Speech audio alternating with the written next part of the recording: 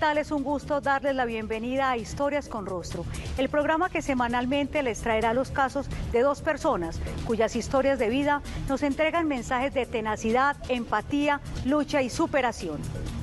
El rostro de nuestra primera historia es el de Yolanda Perea Mosquera, una mujer afro de 36 años quien convirtió el delito sexual del que fue víctima en su niñez en la bandera de su lucha. Hoy es activista afrocolombiana de la Ruta Pacífica de las Mujeres y defensora de los derechos de las víctimas de violencia sexual en el marco del conflicto armado. Yo para donde miraba era puro muros de cemento. Yo decía, bueno, no tengo empleo, no tengo donde dormir, no tengo para darle de comer a mis hijos, ¿yo qué voy a hacer? Yolanda Perea Mosquera es una negra llena de color en su vestimenta y que lleva Colombia hasta en su cabello trenzado, como si emulara las diferentes aristas de una realidad que unidas crean algo hermoso, la paz. Desde su nacimiento fue llamada por otras tierras lugares donde quizás estaba destinada a vivir su felicidad y a su vez sus mayores tragedias. Mira que mi nacimiento fue chistoso. Yo nací aquí en Medellín, en la General, pero no sé qué pasó, que terminé registrada en Río Sucio Chocó. Pero además fue porque cuando a mí me llaman allá resulta que la registraduría de allá se quemó, entonces tuvieron que volver a, a, registrar a muchos niños y entre eso yo. Pese a todo el sufrimiento, yo creo que cada grano de arena ayuda a crear un gran ser humano dependiendo de la forma y la decisión que tome para poder avanzar. Vivió en la vereda Pava, finca El Congreso en Río Sucio, Chocó. Su niñez estuvo rodeada de naturaleza, animales, cosechas y toda la belleza del campo chocuano.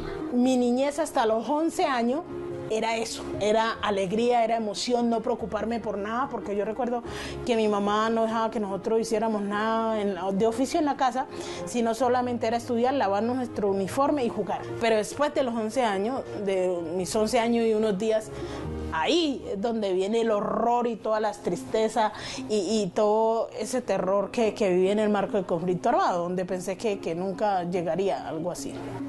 Esta historia cuenta con una segunda protagonista, María Ricardina, madre de Yolanda, quien fue la matrona encargada de encender el espíritu de lucha, de inspiración, presentes hoy más que nunca. Esa mujer tenaz, berraca, de esas que Además, los hombres de ese sector les tenían miedo a las, hijas de, mis de mi abuelo. ¿Sabes por qué? Porque decían que ellas eran muy fuertes y tenían un temperamento muy fuerte que no, siempre y cuando tuvieran la razón, ellas no se dejaban ganar en su razón. Siempre la defendían. Mi mamá era alguien que, por ejemplo, manejaba motosierra, donde dicen que la motosierra solo lo manejan los machos, ¿cierto? Pero mi mamá no. La admiración y la confianza fueron los principios que le permitieron a Yolanda, a escasos 11 años, acercarse a su madre y narrarle los trágicos hechos ocurridos durante esa noche en la que un guerrillero de las FARC decidió arrebatarle su inocencia. Fui víctima de alguien que entró a la casa, me apuntó y dijo que si no me quedaba quieta le hacía algo a mis hermanos. Con la amenaza para sus hermanos, Yolanda no tuvo más remedio que callar y llorar, mientras aquel hombre desbordaba su lujuria sobre el cuerpo inocente de una niña asustada e indefensa. Desorientada, avergonzada y con dolor en su cuerpo y alma, se escondió en el lugar más apartado de la finca, mientras su madre y los capataces la buscaban desesperadamente, tratando de escuchar el corazón de su hija, mientras su cuerpo aún sufría el silencio de una violación. La que me encontró donde yo estaba escondida cuando fui violada fue mi mamá.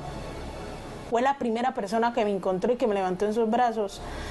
Menos mal que en ese tiempo era langaruta, tú te imaginas ahora.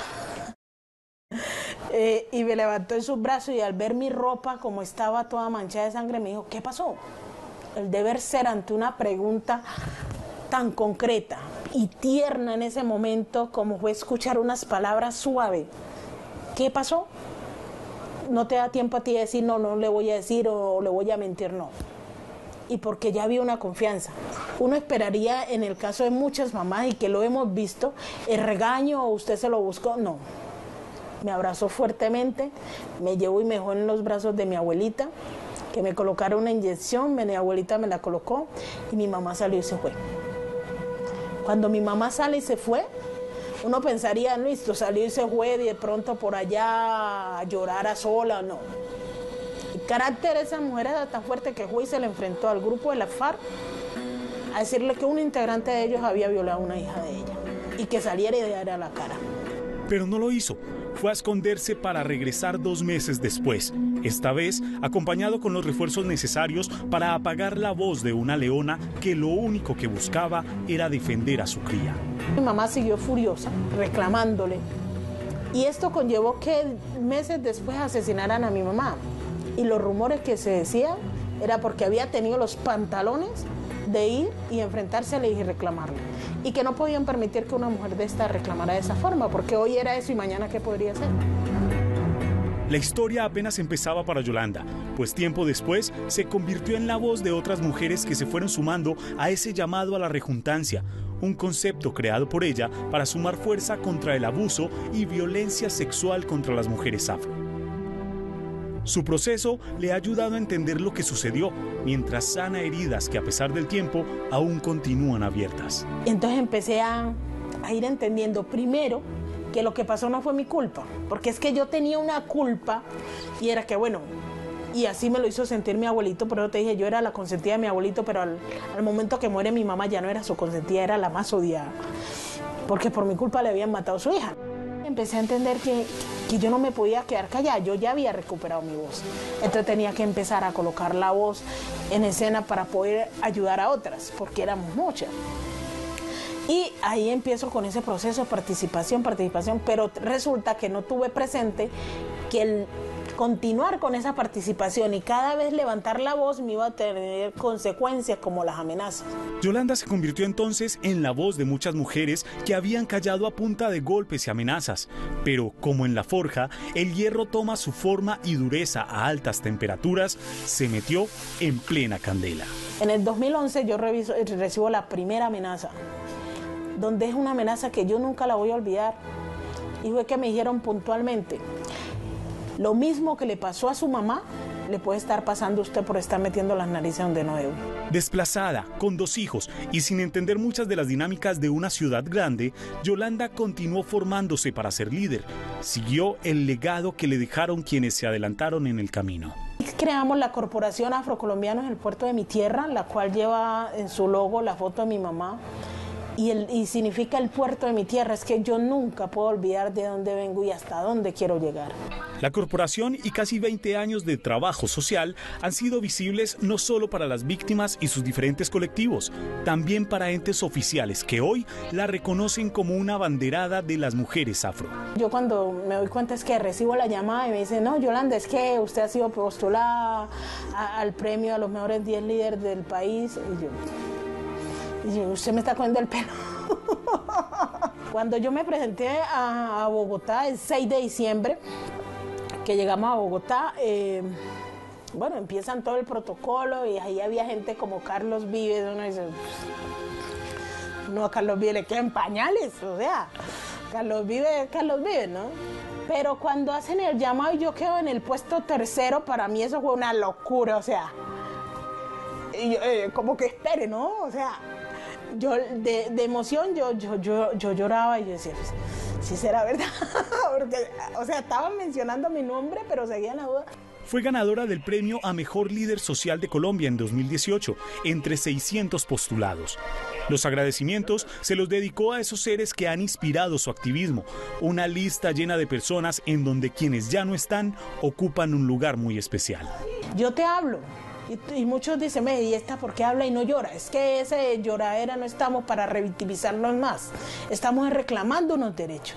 Y yo hablo porque he tenido un proceso y, y, en el fondo hay momentos que yo termino de hablar y en la noche tengo pesadilla o en la noche recuerdo cosas, me echo mi llorada, me seco mis lágrimas y sigo adelante porque es que nadie va a venir y sí, pobrecita, cositas que me den más rabia que a mí me digan pobrecita. No soy pobrecita, soy sujeta de derecho. No es fácil porque yo no puedo salir a un parque a divertirme con mis hijos, yo no puedo salir a rumbear, yo no puedo hacer nada de las cosas que hacía antes de ser la lideresa que soy ahora. Constantemente tengo que estar con personas que están a mi lado cuidándome, primero Dios y luego ellos. En un camino en el que no hay vuelta atrás, Yolanda continúa con el trabajo de visibilizar los delitos de violencia sexual contra las mujeres afro, llamando a todo aquel que se quiera sumar, especialmente si es una víctima. Yo invito a las mujeres que no se queden calladas, que hablen, hay que hablar, no es fácil, no es fácil, ni es de la noche a la mañana, pero poco a poco. Porque es que también cuando se callan y se aguantan solo ese dolor y no lloran, no se expresan, tienden a, a, tener cáncer, tienden a irse muriendo lentamente y la idea no es esa.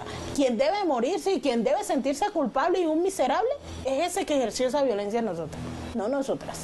Las invito a entretrenzar la confianza y poner en escena su palabra, porque eso les va a permitir construir memoria, verdad, hacer resiliencia, pero sobre todo aliviar esa carga que no es fácil. Ella continuará luchando, llevando en su espalda el peso de una guerra que les tocó cargar a los líderes en Colombia, con un costo en vidas para quienes la han padecido, pero que para Yolanda y otras mujeres lleva a cuestas con un solo deseo. Que nos permitamos construir una verdadera paz, un país donde los derechos se exijan, pero por la vía legal, desde la palabra, desde la propuesta no es de las armas, porque es que con el arma cualquier huevón llega y, hace lo que quiere hacer. ¿Sí? Y es ese solo que hace. Mientras que con la palabra todos podemos hacer y construir.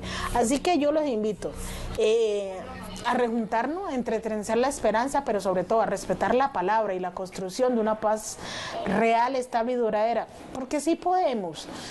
Yo creo que sí podemos hablar, dialogar y avanzar. Yo creo que eh, ha llegado el momento, si nosotros como víctimas que hemos sufrido tanto, estamos prestos a construir país, porque ellos no.